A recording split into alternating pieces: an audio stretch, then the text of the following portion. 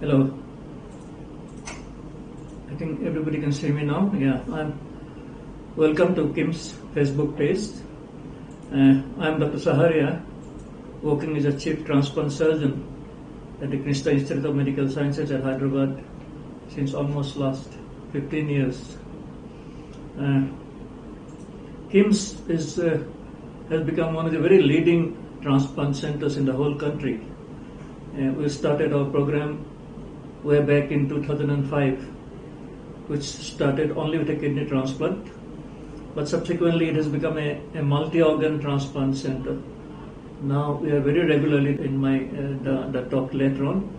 Then we have got a very active uh, liver transplant program, and uh, recently we have started also a very very active heart and lung transplant. Particularly lung transplant has become very very important because you know during the COVID time there's a huge number of patients from all over the country who develop severe lung infection and ultimately their total lung they, they get damaged and ultimately they need a, a, lung transplant for survival.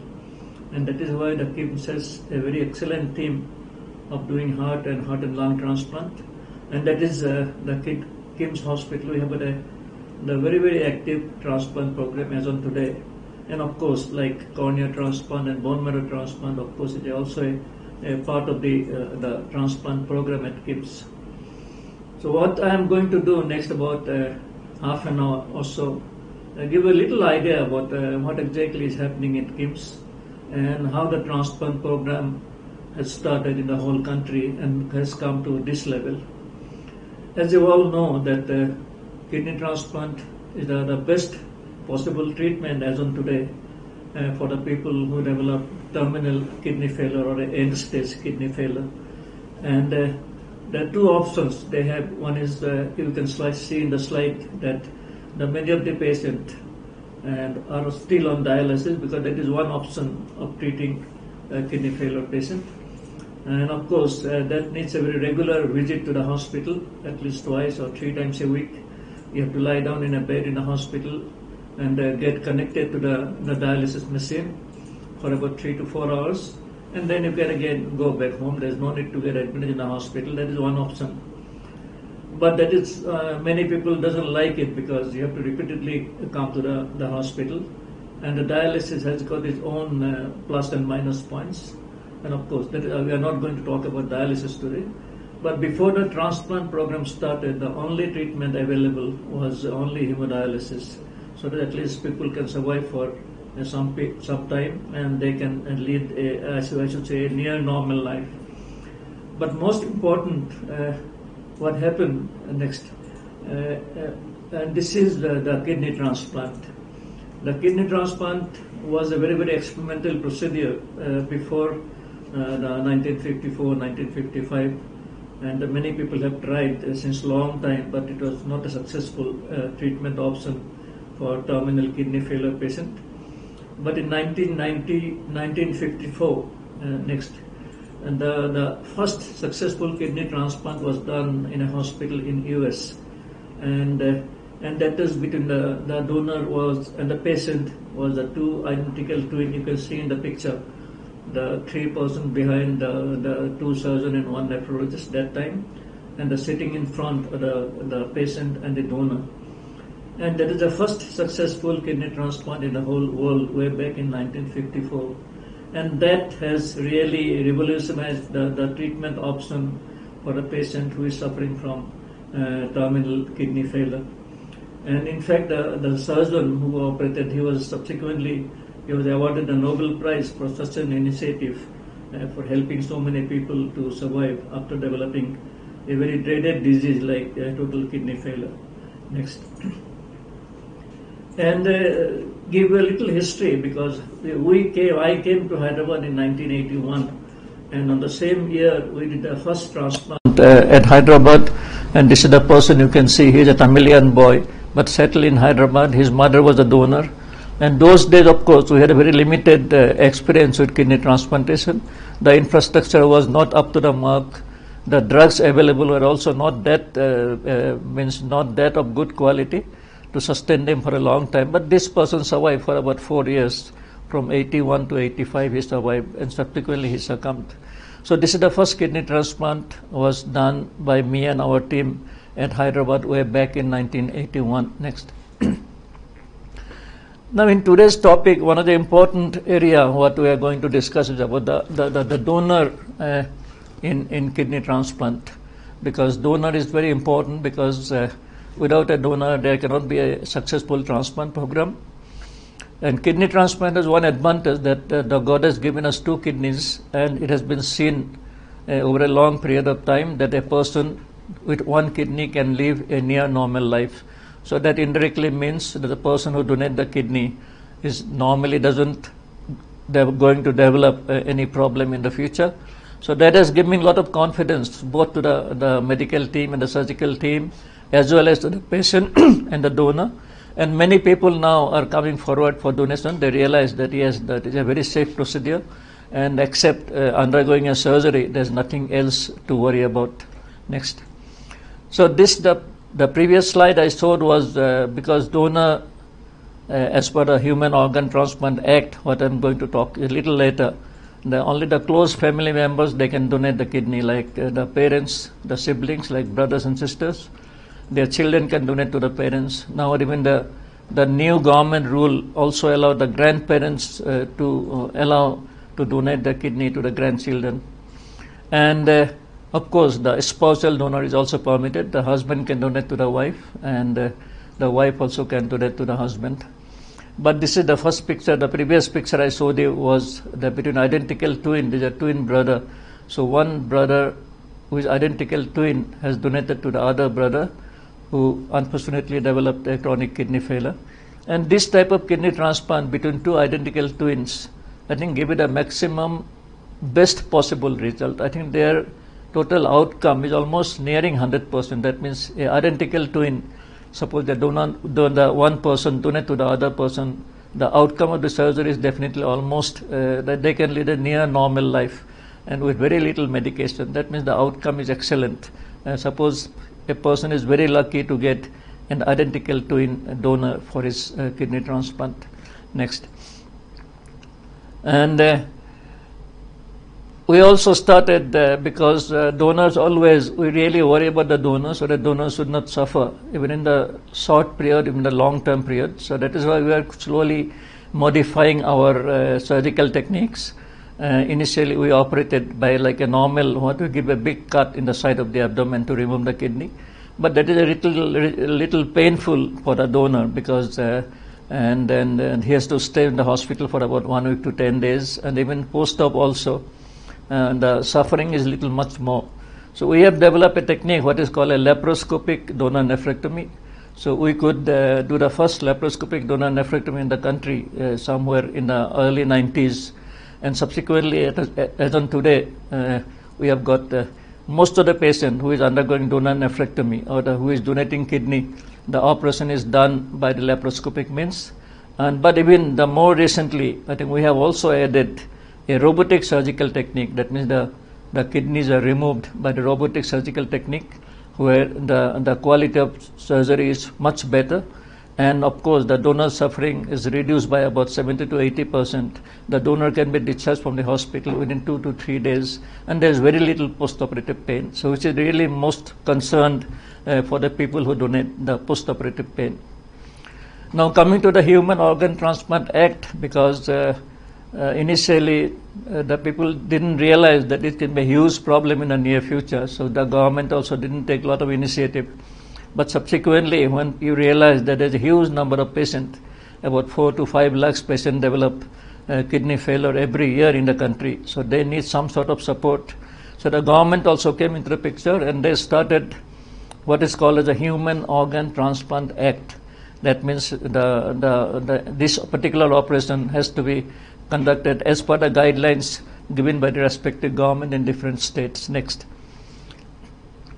And these are the very important why this uh, Human Organ Transplant Act was brought into. The number one, the streamline the do organ donation and transplant activity, because the government should know exactly how the transplant activity is going on all over the country in different hospitals.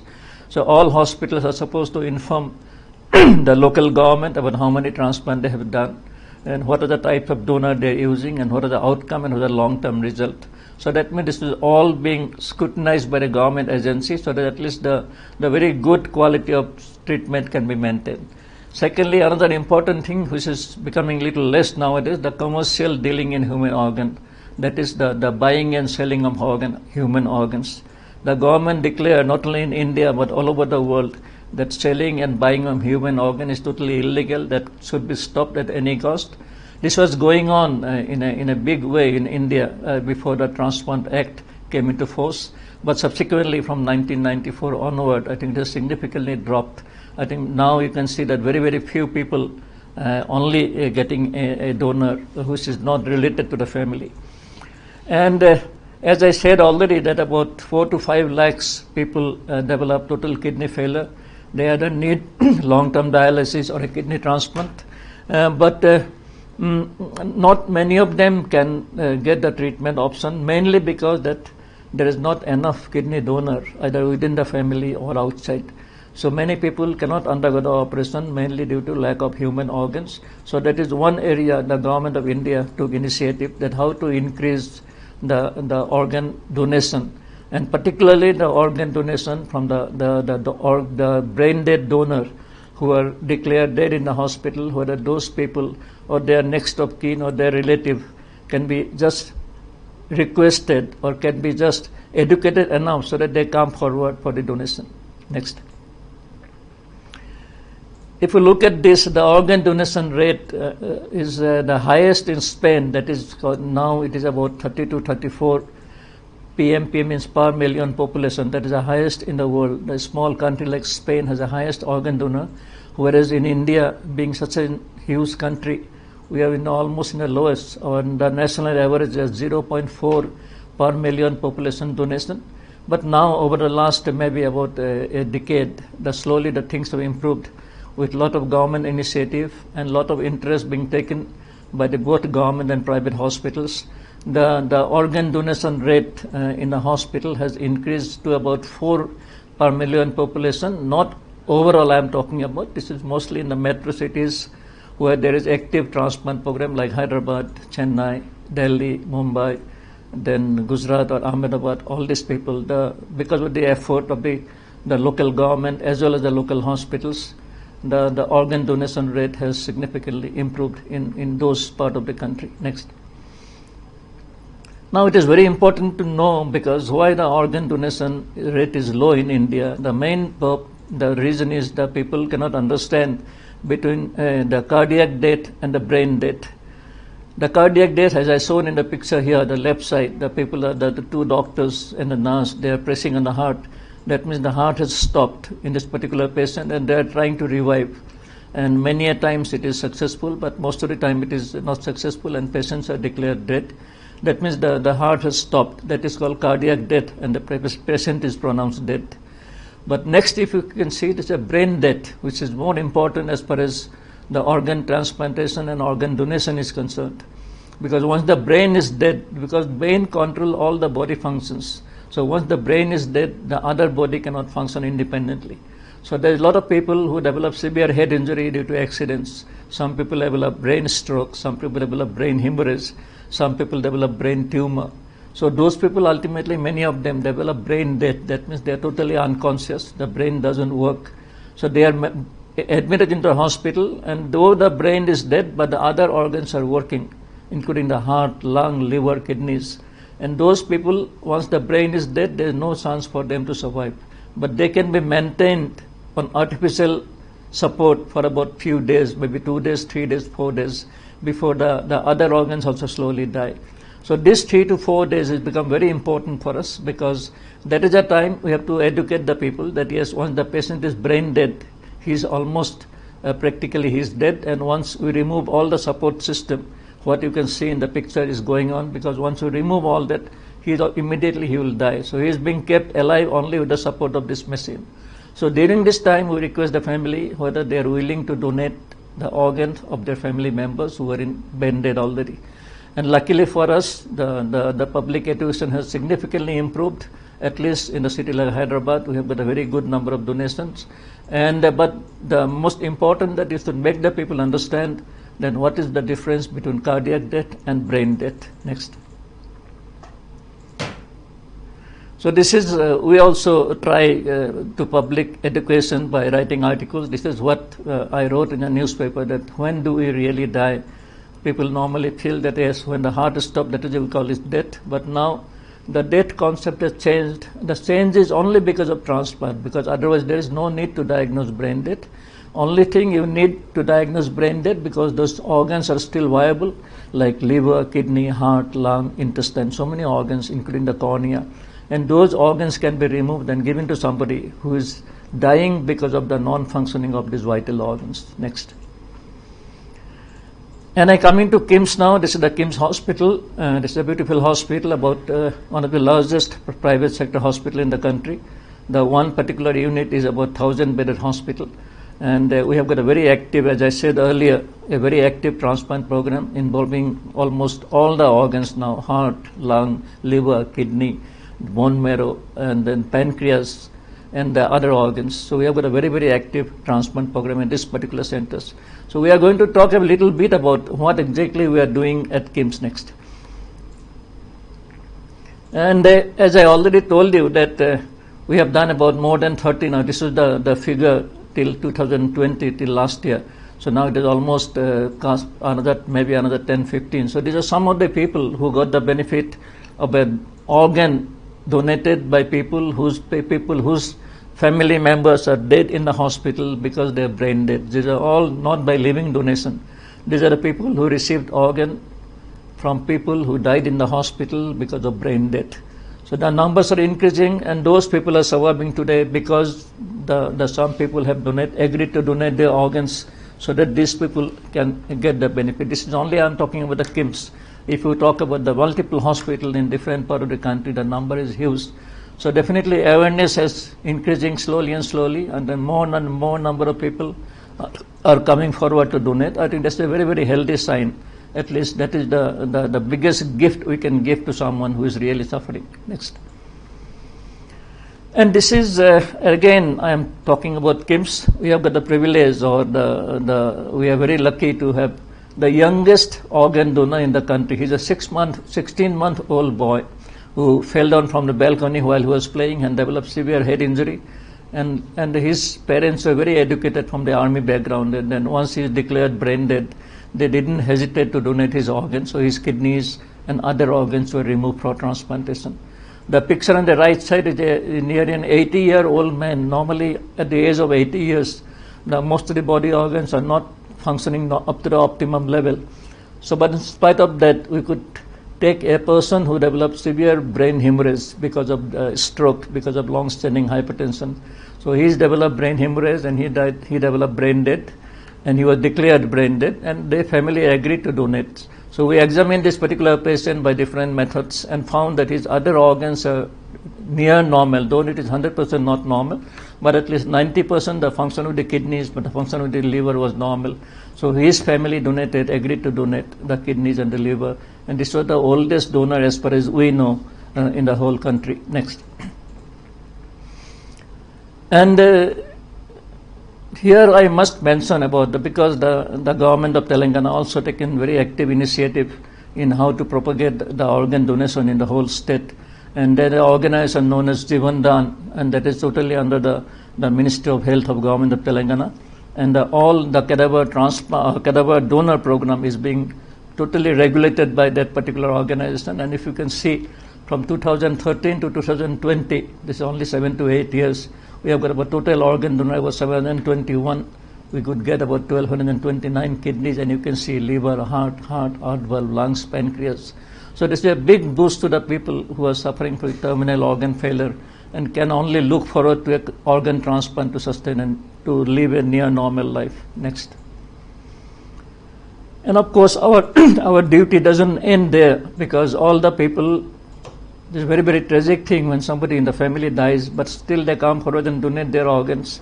And we always make it a point to the, the invite the family member every year whosoever has donated their organ, the next of kin, we invite them. We recognize their the, the sacrifice they have made uh, for this benefit of the society. And this is one such picture you can see. One a very prominent film personality. He personally came and he uh, means felicitated all the, the donor family members. Next. There are different types of organ because organ donor because as I told you because the biggest problem as on today the acute shortage of uh, the organ donor uh, in spite of all the effort there are many people who cannot get the benefit of organ transplant. But the medical fraternity is looking for different option. The one of the option I'm showing it here is a swap transplant.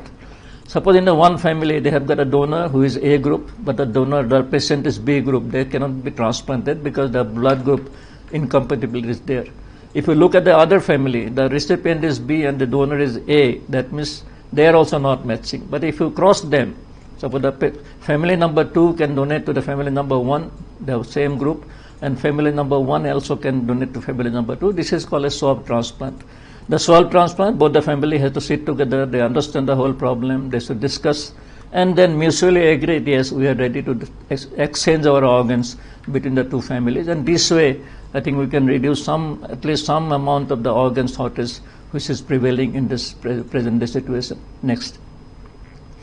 Another very important thing is uh, coming as ABO incompatible transplant because till few years back it was absolutely not possible to do a the transplant across the blood blood group barrier, what we call it. Suppose the B group patient can get a kidney from a B group donor or O group donor, the A group patient can either get A group donor or a O group donor. But suppose in the family I have only A group patient, but my donor is B, where do I go? But still, the medical fraternity, with a lot of research activity, found that even ABO incompatible transplant, a person with B group also can donate to A group. A person with A group also can donate to B group. Some limitations are there, but still it is now possible. So this is the ABO incompatible kidney transplant. In KIMS also, we have got a good number of patients who underwent ABO incompatible kidney transplant. They are doing extremely well. Next. The third is, as I didn't tell you, didn't go into all the detail because as on today, there's a huge number of patients because the diabetics, diabetics is increasing alarmingly in the whole country and diabetes has become one of the leading cause of kidney failure in not only in India but across the globe. But those patients, those are type 1 diabetes who develop diabetes at a very young age, who are sustaining life only on insulin and their kidneys are damaged, those patients can be saved by transplanting both the pancreas, who is giving insulin to the body, and the kidney as well. So this is the, in KIMS also we have done about a couple of patients who underwent type 1 diabetic patient who who was transplanted both with kidney as well as pancreas in the same sitting. And they do extremely well. And their diabetes uh, under, get under totally control. They don't need any more insulin. And then they don't need also dialysis because the kidney also functions normally. Next and that is why suppose as on today we have got different type of transplant at the KIMS hospital. Number one you can see a live related transplant between the donor within the family. Second is live unrelated suppose the spouse donor to the husband the wife donate to the husband, the husband donate to the wife, we call it spousal donor. That is also, I call it unrelated donor. Cadaver transplant means a person who's a brain dead person who donate organ, that is cadaver transplant. We have got pediatric transplant, very young boys like 4 years, 5 years, 6 years, they undergo transplant. ABO incompatible transplant, just now I mentioned what is ABO incompatible transplant. Swap donor also, as I mentioned. and first ever inter-hospital swap donor transplant in Telangana, we have done the first one one donor and the recipient was in our hospital, another donor and recipient in other hospital. The organ from that hospital was brought to this hospital, and organ from this hospital was shifted to the other hospital so that both the transplant can be done simultaneously.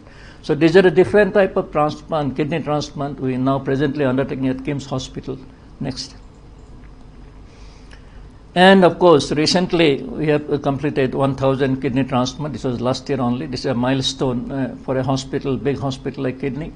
And as I told you, we have got a very, very, very active uh, kidney transplant program. We have a huge team, about 30 to 40 people involved in the, in the field of kidney transplant, including our uh, the, the doctors, the paramedical staff, the nurses, and the, the transplant technician, the transplant coordinators, and so on. So it is a huge team effort And because of the team effort, mostly we could do a, the large number of kidney transplant with a very excellent result. Next one. Now, always a question asked: uh, What is the, the people always worried? What is the long-term uh, kidney transplant survivor? Because these are the, some of the pictures I am showing you here. We operated maybe about 10 years, 15 years, 20 years, 25 years back. Still, they are maintaining a normal health. So I can only assure you that the kidney, kidney transplant is a very, very uh, successful treatment option for patient with kidney failure, and there no, should be no hesitation in undergoing a kidney transplant.